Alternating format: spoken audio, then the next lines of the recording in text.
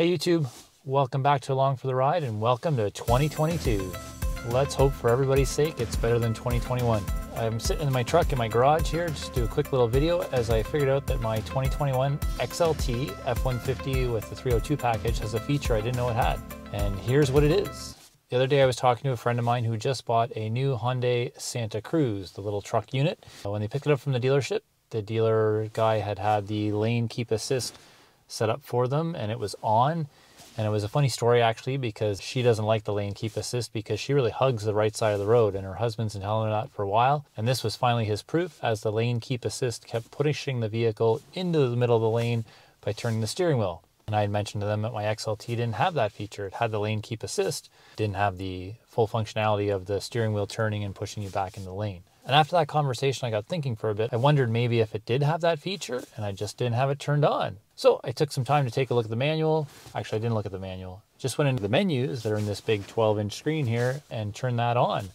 So let's take a look at how you do that inside the menu of the 2021 XLT F-150 302 package. So there really aren't many of us that look at manuals, but if you take some time here and go into settings and go into your vehicle, there are quite a few settings here you can adjust inside the F-150. These are pretty standard, but if you go into features, you get into some other stuff with the vehicle as well, one of them being driver assist. And again, whole pile of driver assist stuff sets in here that you can turn on and off. So we go into lane keep, lane keep mode. My XLT was set to alert. That was the default mode. So you can see here it shows the steering wheel. So the alert is just the vibration and that's what I was getting. I didn't think I had the ability to have it aid me into the lane.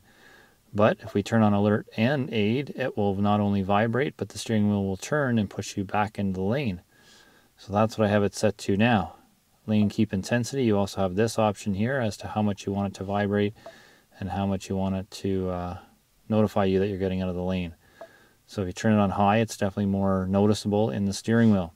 So the XLT F-150 302 package has all that kind of information built into it and can do all that. Same with blind spot monitoring system, you can turn it on and off. This auto hold is kind of neat.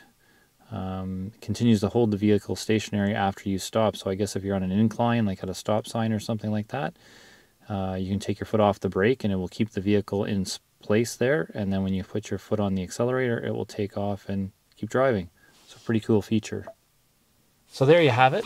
The 2021 XLT F-150 302 package, in fact, has the lane keep assist aid to push you back into the lane. Tried it a couple times, works pretty good when the lanes are clear and the sun is bright. I believe it's using the camera system to find the lines on the road. So of course, when there's no lines there, it doesn't do anything for you.